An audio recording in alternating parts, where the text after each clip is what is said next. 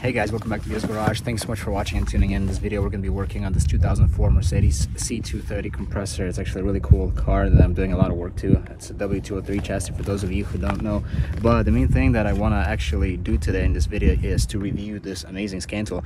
So uh, I really wanted to say uh, thank you to this company who provided me with a chance to review this uh, scan tool. So we're going to go ahead and use scan tool on this car right now. It's an OBD2 car. So I really want to see uh, how many options this scan tool gives you and all the things that you can do and read the live stream data is actually I've never used this particular scan tool before but I'm super excited to give it a chance. And uh, yeah let's get started guys. All right guys so here's the box for this uh, with this scan tool. It's actually a really nice box. I really like it so much. On the back side shows you some of the specifications the address and people that you can contact if you need help or you know if you need to you're di diagnosing something you don't know how it works or how to use it. They will help you out actually. And then um, quick overview about this uh, scan tool let's get started. So we're gonna start working on this car guys. Don't pay attention to the inside. There's a bunch of stuff that i'm doing to this car and just replace the door actuator and all the other stuff and just have some stuff torn apart because i'm diagnosing more things. But you know i still want to go ahead and use this scan tool today to show you what it's capable of so first things first, let's actually open up this box. I'm really curious what it contains.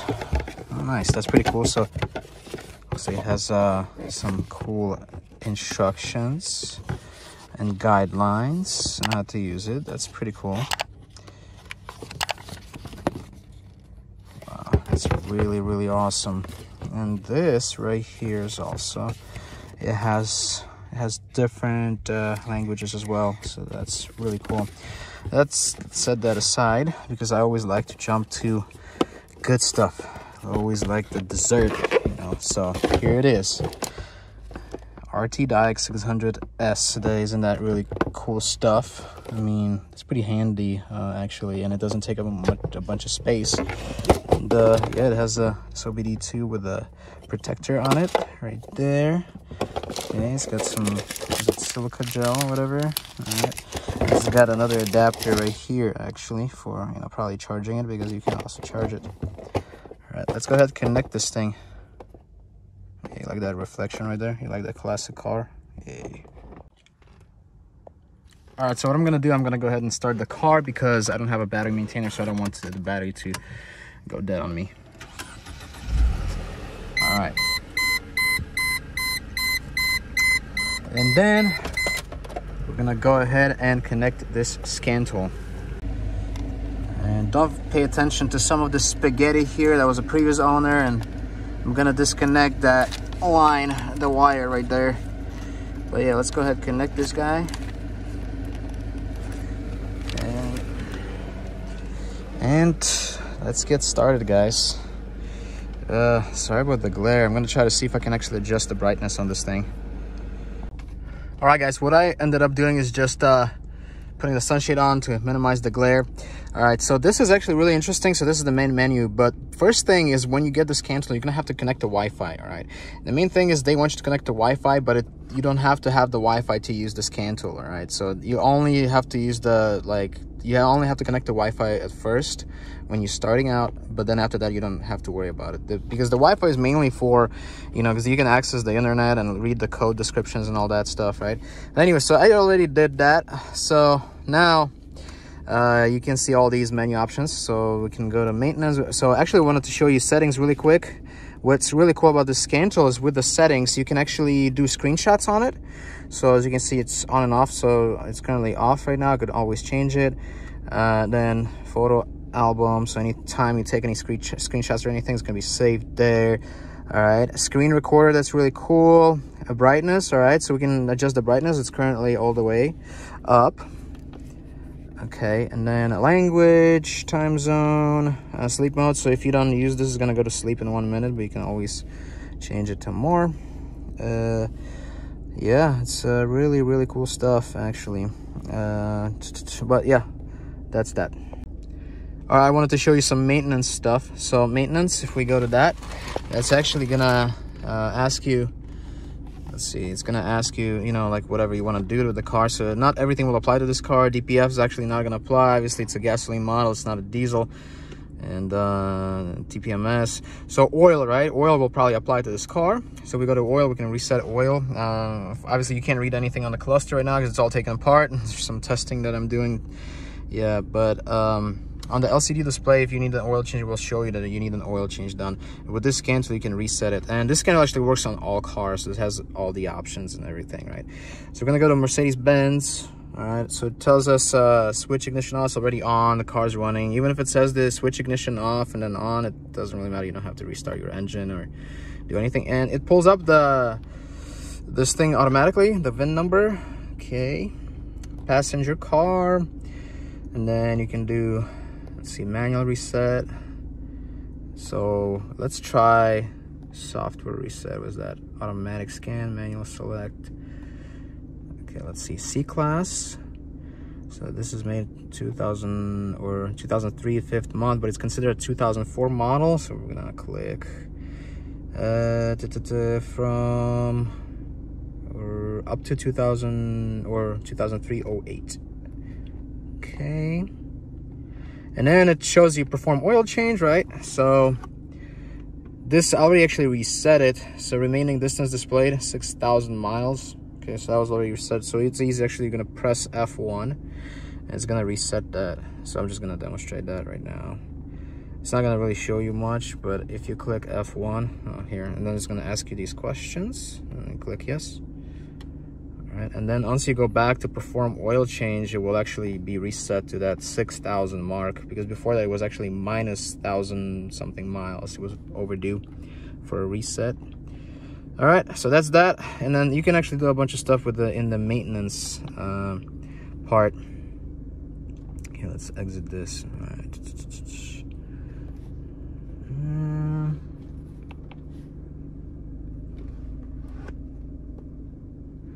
All right, so we're gonna exit that. We're gonna focus our attention to on the diagnosis right now. With this little scan tool, I mean, that's that's pretty amazing. It's pretty handy. You can almost carry it in your pocket, honestly. If you have a purse, if you're carrying a purse, you can put it in your purse. It's super handy. I'm having so much fun playing around with the tool. All right, so now we're gonna try uh, and do diagnosis. Okay, and then it's gonna ask you which, which car which car it is. Wow, it even has Peugeot. French cars. How about that? Um all right, anyways, we're gonna go to Benz right there. Okay. So sometimes you're going to be able to uh, uh, automatically select it and it will find the VIN number automatically. Sometimes you have to manually um, type in the VIN number. So that's what we're going to see what it's going to show us now. Okay, we're gonna do automatic search.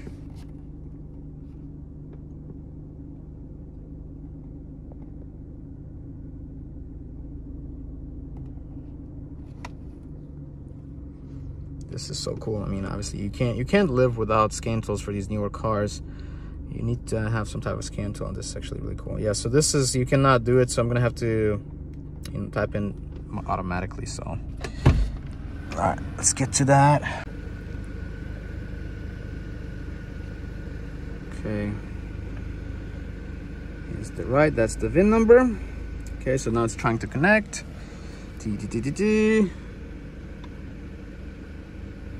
all right up to 2003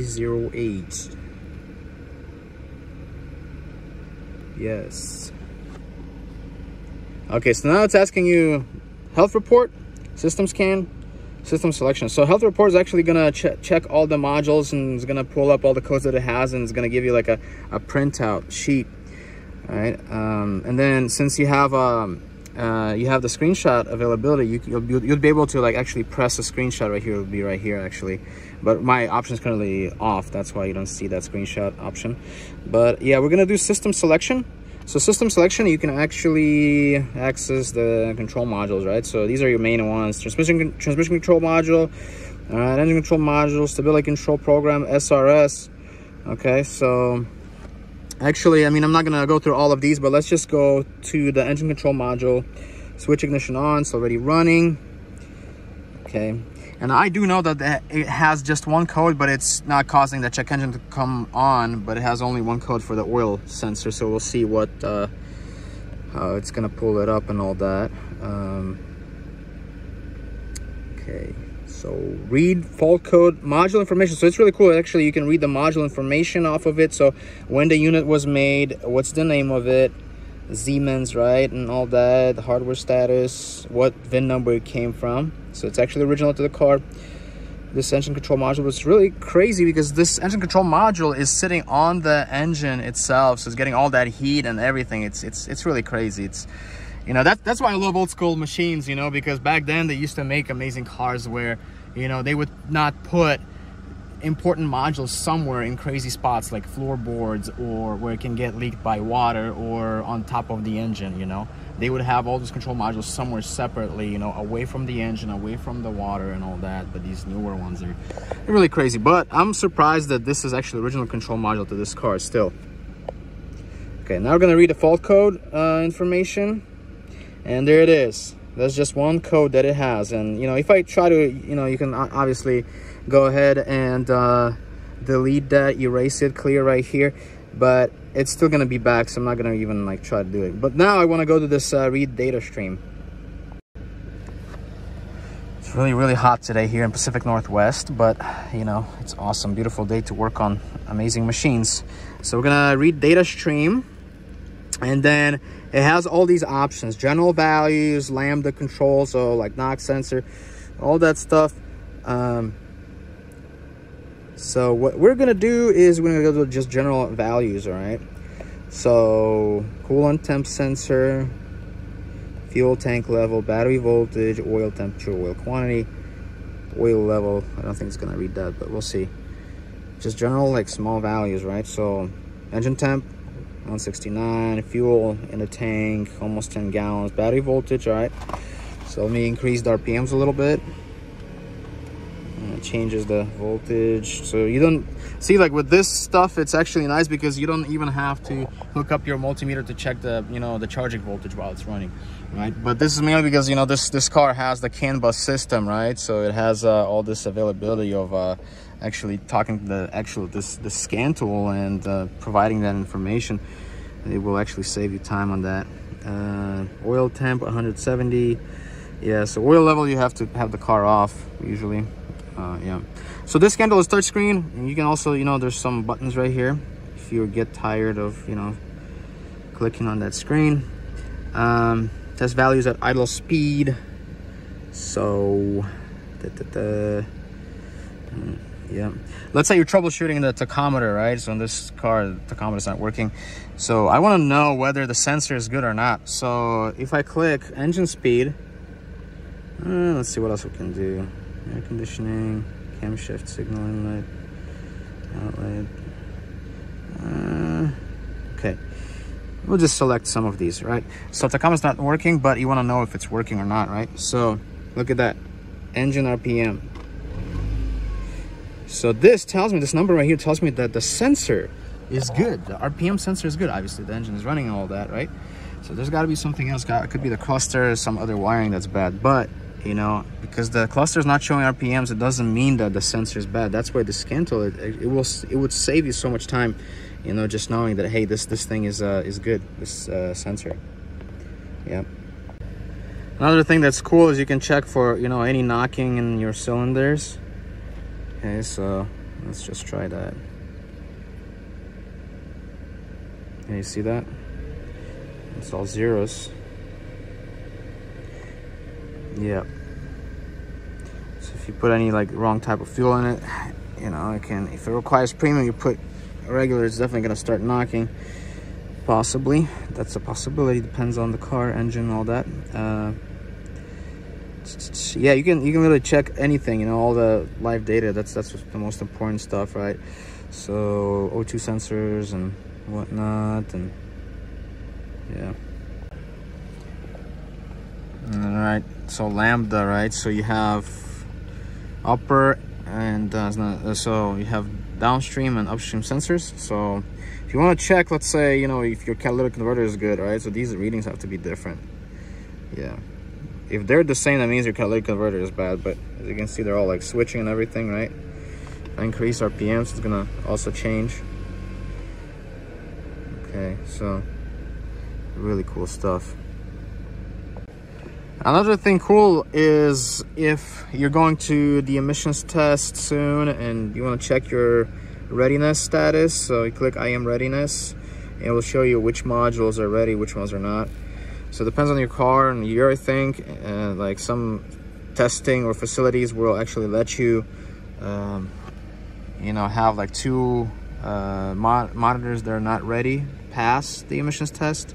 Some will let you just have one failed uh, uh, monitor readiness uh, test. So it just depends on the car but you know this scan tool will actually show you uh, where you know what's what's what. Okay so let's see. Oh, I clicked something. To let's see. Ready status. Okay so you see it's showing. Fuel system ready misfire ready. Um, catalytic converter not ready. Catalyst. So that's probably because you know I had the codes reset before so it still needs to run some more uh, O2 sensor monitor not ready. So you know in that case you know if you reset the battery you have to just drive the car for probably a week before it will be ready. But this scan will let you this scan tool will let you actually check that. That way you don't go to the emissions test and they will tell you oh your monitors are not ready. Did you reset the battery or whatnot all right guys thanks so much for watching this video and uh, don't forget to check out the uh, links down below and everything. Uh, it's actually if you're interested in it you know there's uh, there's all the resources down in description box you know and uh, you know I really really like this thing and um, you know if you guys have used one of these scan tools and you know if you have any other experience on you know using this scan tool let me know. I'd love to learn some more. I'm still brand new to the scan tool but you know it was a really good experience using it on this 2004 mercedes. Oh i almost dropped it. Uh, it was a great experience using it on this 2004 mercedes c230 so looking forward to using this scan tool in a lot more vehicles. Yeah. So thanks a lot. See you next one guys